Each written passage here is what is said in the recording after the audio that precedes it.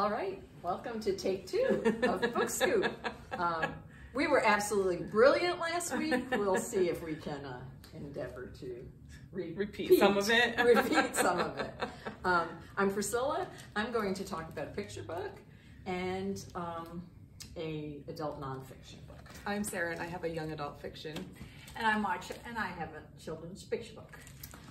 So um, I'm going to start with The Christmas Book Flood by Emily Kilgore, and the pictures are by Kitty Moss. And um, this is a book about my favorite holiday of all time. It's the Icelandic holiday, which I think is remotely pronounced Jólabókaflóð, which means the Christmas book flood. So um, this book uh, tells kind of what the story is about. Uh, the Christmas book flood in Iceland, uh, most books are published in November and December and given as gifts. And then on Christmas Day, Christmas Eve, everyone opens their gifts, gets their books, and then they spend Christmas that night and Christmas Day reading, um, drinking hot chocolate, eating chocolate. Best holiday ever, right? right? And this book has the most beautiful pictures, and at the end it tells you a little bit about the history. And so if you want to start this tradition for yourself, perfect book to get this Christmas and uh, learn about it. Mm -hmm. um, the other book I have is an adult nonfiction called Purple Crayons, The Art of Drawing a Life by Ross Ellenhorn. And if this cover looks familiar, it's because this is a philosophical discussion of the children's book, Harold and the Purple Crayon um, by Crockett Johnson. And so two things perfect to read together. Um, it, but this book, very good, but, and, and I picked it because it was short and I thought I'd get through it really fast, but it's dense. It requires a lot of thought. That said, um, it's a really meaningful book to read. He, he took looks at the story of Harold and the Purple Crayon. He uh, goes through it frame by frame and talks about the psychology, the philosophy, the sociology behind it, and really what it means to all of us to live as unique human beings, living the original life we've been given to live and doing the most with it. It's really a powerful book, and it has one of the best chapters on hope I've read in a long time. So I, a hard read in some ways, takes a lot of thought, not quick, but a very important read. I would really encourage everybody to read Purple Crayons, The Art of Drawing a Life. And it gives a perfect opportunity to revisit Harold also. Sounds good. um, I read Whiteout and I said, you know, I'm going to read something other than young adult fiction and children's fiction, but then I saw this and went, oh no, I'm going to read this one.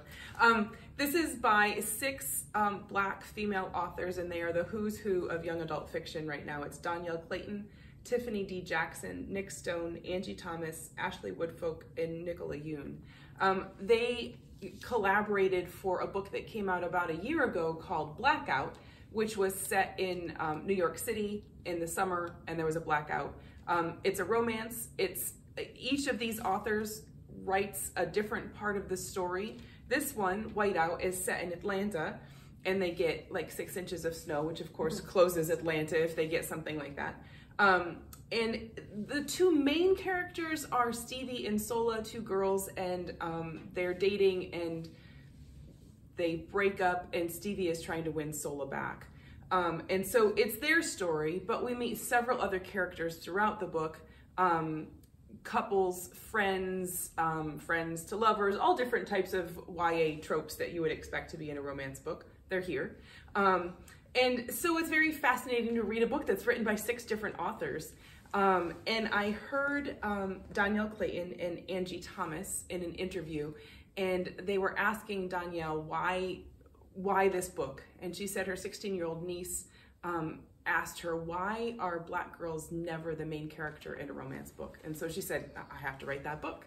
Um, and then they asked, um, how do you decide who writes what part?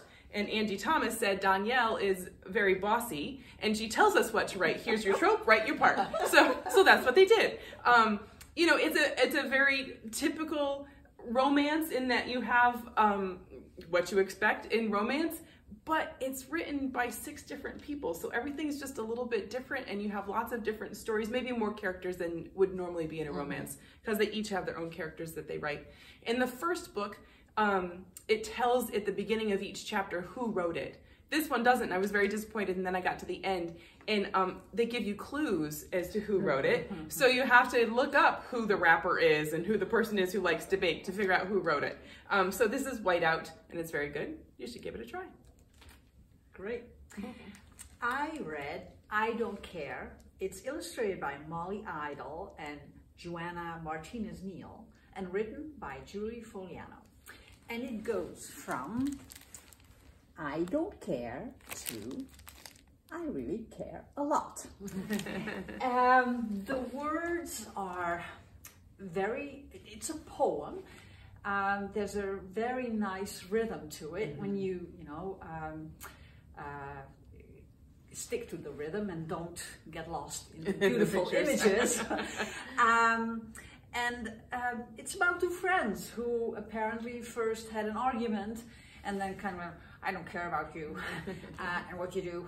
Um, and then at some point, and I had to reread it to find out, now where exactly does it turn? It was very nicely done. Um, so anybody who wants to read a book about friendship, this is a very nice one. And it made me realize once again that somehow it is not fair that illustrators are not mentioned at the same level as authors are because without these pictures the book would definitely not be the same um, that's why i mentioned the illustrators first and then who wrote it so i don't care it's here at the library and come and pick it up nice for adults too I was just gonna Yes. say, and that picture books and children's books and young adult is not just for that age group. That Yes. adults can read all of those also. Yes. And, yes, and there's so much in it for adults, I think, whether it's a picture book or it's a young adult book, there's so much that even an adult can get something out of. mhm. Oh, Yeah. yeah. A lot of times you read is like for picture books, the children see it as one thing. You know, the simple simple, yeah. what's right in front of you. But as an adult reading it, you're like, oh, Yeah, there's many layers in there that sometimes the kids don't get, but as an Mhm, adult you will mhm. get. I think I think I always um, am reminded of what Madeleine L'Engle said when somebody asked her, "Well, why did she re- write for children?" A- As if implying that that was lesser than Mhm. writing for adults, and she said, "Well, if I have a story to tell that I think adults can't understand, I write it for children." I like that. So I think you know if you're not reading children's books, you may be missing out on some of those Yeah. things. Yeah, absolutely. And we have loads of pictures, so don't be afraid there's nothing left for the children if Yes. you Yes. take Yeah. home a few. yeah, right. Yeah. So there is. Hopefully, we actually recorded it. Yes. Um, the latest book scoop. Hope you enjoyed that. Thanks.